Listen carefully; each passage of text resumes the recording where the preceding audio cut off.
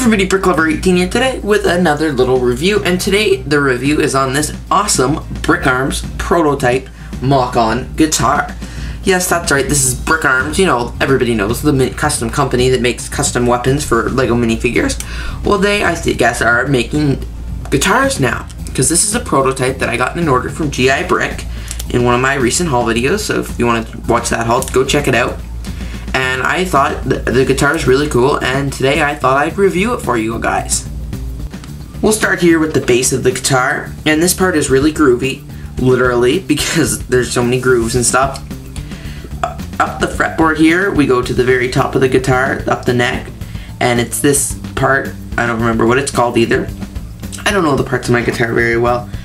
Uh, there's where the strings go and it's just it's also very groovy up here and it's crazy how much detail this guitar has. The strings you can literally tell where the strings are. All the little pieces on the guitar like the volume switch and the frets and it's crazy. This is an electric guitar because as you can see here there is a volume switch. Kind of wanted to focus there but I'm getting it back don't worry. There's a volume switch and it's this like rock guitar that you'd use in a rock concert or something like that and it is very, very cool. Here's what the back of the guitar looks like. It looks just kind of like the front, except there are no, not as much detail on it. You can see where the fretboard is in the back of the guitar and stuff like that, but there's no strings or anything like there is on the front of the guitar.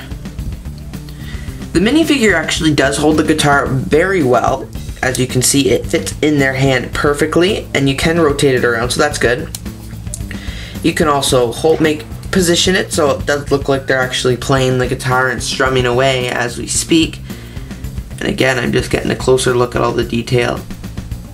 The crazy good detail in this figure, or not the figure, holding the figure, the crazy detail in this guitar.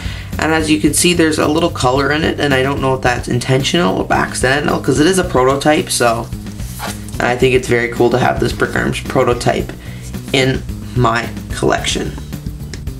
Thanks so much for watching the review of this BrickArms prototype guitar. I mentioned in the haul video that it was a gun, but they both start with a G, so forgive me.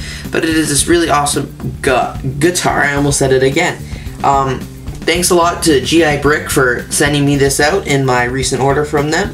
It's a really great product, and if BrickArms ever sells them, I recommend you get them. Thanks so much for watching this review. Have a great day. Don't forget to check out my channel for all my other reviews, BrickArms review, and every other kind of review. Thanks a lot for watching. Have a great day.